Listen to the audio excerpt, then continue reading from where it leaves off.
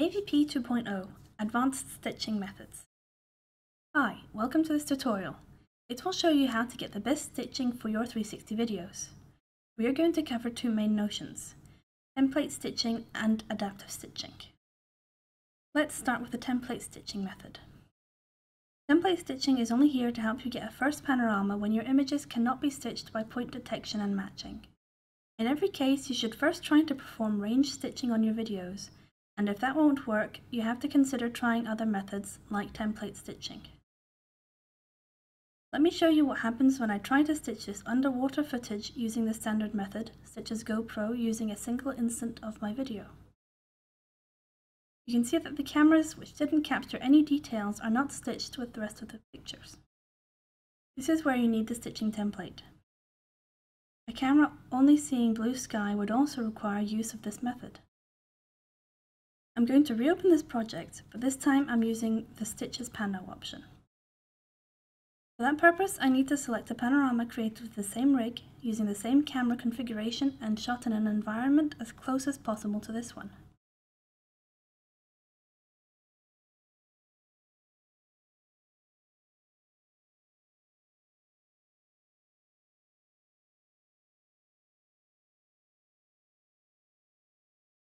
As you can see the stitching is pretty good, but there are no links between the images.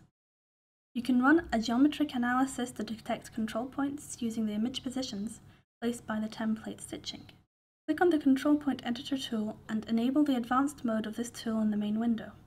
You can set the detection quality and number of control points to add for each link. High detection quality and 100 points are good values, but you can lower these settings to save time. Once your analysis is complete, you have to re-optimize your stitching. Just click on the quick optimization icon. You now focus on the next steps of your video stitching, stabilization, masking, color correction, director's cut.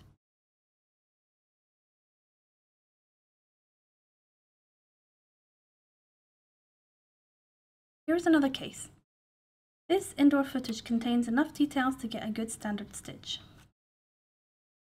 Nevertheless, I'm going to use the template stitching method just to show you how the stitching is scene dependent and why the template stitching method must not systematically be used. As you can see, the result is really bad. This is due to multiple factors.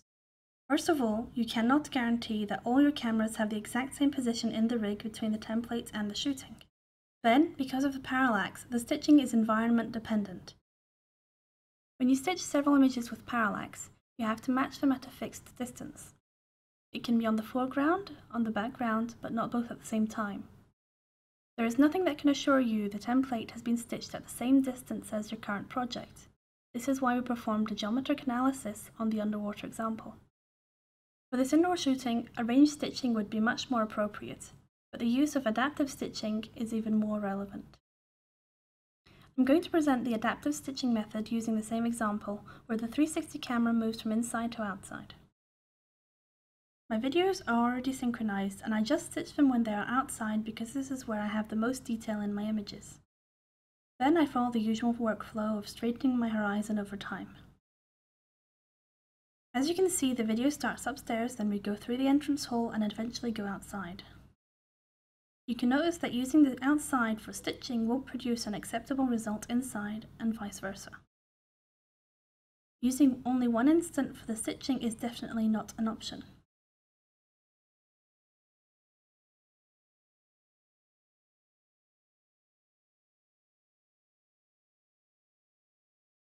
The RMS calculation will bring out this observation. I computed the RMS all along the concerned part of my video. Remember that the lower the RMS is, the better your stitching should be. Once it's done, you can see there are three different areas, a high RMS area, a medium RMS area, and a low RMS area. These three parts correspond to, respectively, the stairs, entrance hall, and outside, which are less and less confined spaces.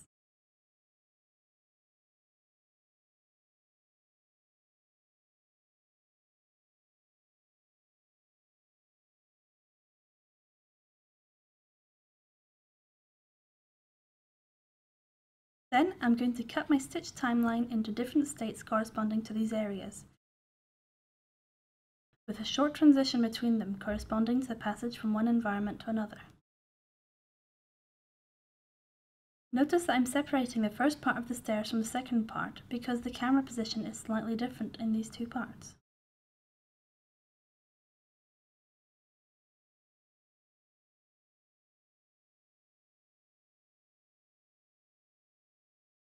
You will also need to cut the beginning and end of your video.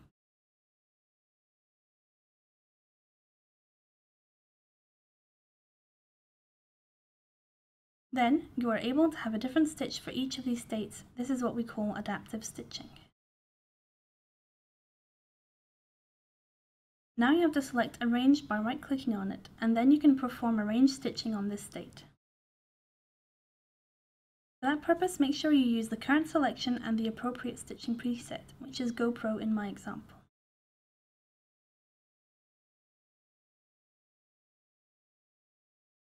Once the stitching of a state has changed, you need to update the RMS value of this area. You should notice some improvement on the curve.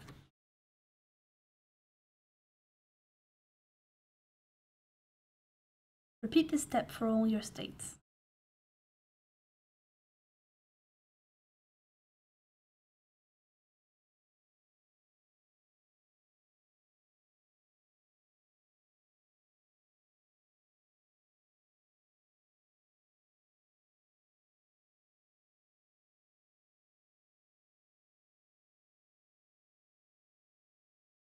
Here are three video snapshots showing the differences between the classic stitching method and the adaptive stitching method.